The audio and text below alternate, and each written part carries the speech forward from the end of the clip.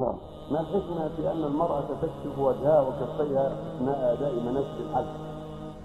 ليس لها ذلك. عليها أن تستر وجهها حتى في الحج ولا تنتقل من نقاب المعروف البرد الذي يعرفه الباديه ولكن تغطي وجهها بغير ذلك. الرسول نهى عن البرقع ولا ينهى عن تغطي وجهها. بل نهى عن البرق وعن القفازين في الحج. فالمعنى أن تستر وجهها بغير ذلك. كالخمار والجلباب كما قالت عائشة. كان إذا دنا منهن الرجال فكذلك كانت خمارها على وجهها أو قالت جلبابها على وجهها.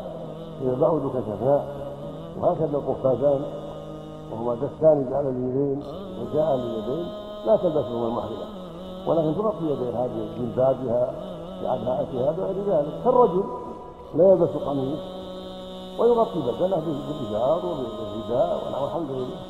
فالشيء المحرم لا يفعل فالرجل لا يلبس قميص.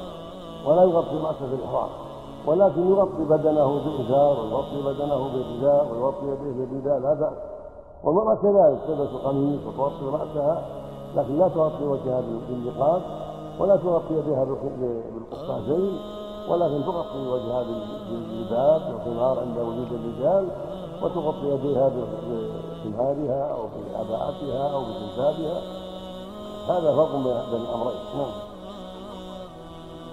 البرقع هو النقاب لا يجوز لبسه المحرم نعم. لا تلبس المحرمة مطلقة. المحرمة لا تلبس البرقع لا تلبس البرقع ولكن تغطي وجهها بغير ذلك. أما غير المحرمة يلبسته للحاجة إلا أن يكون بقدر العينين فقط أو إحدى العينين فقط من دون زيادة.